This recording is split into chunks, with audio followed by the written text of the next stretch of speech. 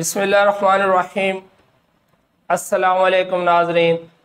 मैं हूँ मोहम्मद बिलाल। आप देख रहे हैं Bilal Kanju official YouTube channel.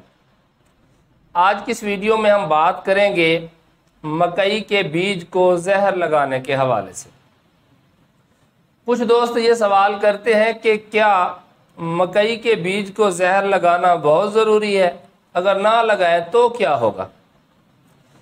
पहला तो दो टोक जवाब है कि मकई के बीज को जहर ना लगाना एक बेवकूफ़ी है। वो क्यों?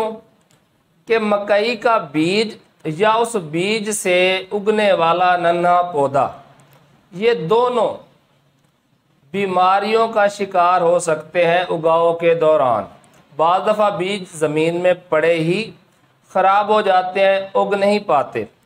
और बाज़ दफ़ा वो जो उगने वाला नन्हा पौधा होता है, जिसे हम सीडलिंग कहते हैं, वो मुख्तलिफ़ किस्म की फंजाई की जद में आ जाता है, जिसे हम अमूमन कह देते हैं कि सीड एंड सीडलिंग डिज़ीज़ बीज और बीज से उगने वाले नन्हे पौधे को लगने वाली बीमारियों से बचाने के लिए हम सीड ट्रीटमेंट करते हैं। अब ये जो सीड ट्रीटमेंट किया जाता है, जब हम बीज का थैला खोलते हैं, जो हाइब्रिड सीड होता है तो अक्सर आपने देखा होगा, उसके ऊपर पहले से कुछ जहर लगा हुआ होता है। तो क्या वो काफ़ी है या दोबारा लगाना चाहिए? तो जस्ट सिंपल आपको जवाब है कि लाजमी आपने दोबारा सीड ट्रीटमेंट करना है। अच्छा अब जो हम सीड ट्रीटमेंट करते हैं, अमूमन इसके दो जोज होते हैं। एक होती है फंजीसाइड और दूसरा हिस्सा होता है इंसेक्टिसाइड का।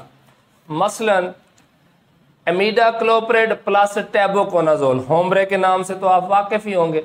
अब अमीडा क्लोपरेड क्या है? इंसेक्टिसाइड टेबोकोनाजोल क्या है? फंजीसाइड तो फंजीसाइड होती है वो जो डैम्पिंग ऑफ़ की बीमारी है, जो मुख्तलिफ़ किस्म की फंजाई की वजह से लगती है। पौधे मुरझा जाते हैं, उगते ही सीडलिंग मुरझा जाती है, या अभी वो बीज उगा ही नहीं होता, यानी वहीं पर ही उसे बीमारी लग जाती है।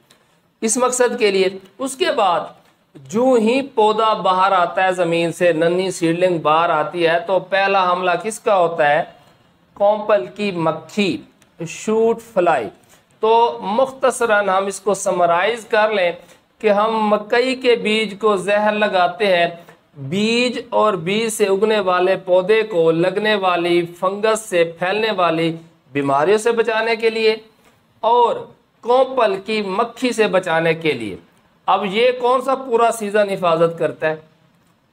तो शुरू के जो इब्तदाई दिन होते हैं, उसी दौरान ही ये फ़ायदा देता है। अब ऐसा भी नहीं है कि आपने बीज को जहर लगाया, बुआई कर दी और आँखें बंद करके सो जाएँ, पूरा महीना छूट फ्लाई भी नहीं आएगी और फंगस का ख़तरा भी नहीं होगा। अमूमन होता यह है कि फंगस का इशू तो नहीं आता। लेकिन हफ़्ते बाद, दस दिन बाद शूट फ्लाई का हमला होता है।